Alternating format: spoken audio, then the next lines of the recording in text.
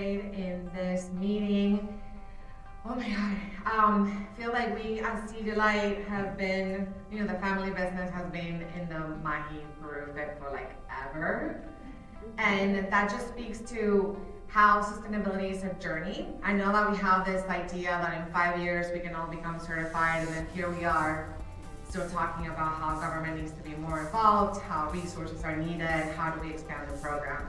So I would like to commend the Peru Mahi Alliance and all the stakeholders for the like, enormous effort that they're constantly making in order to get the fishery to be more sustainable every year.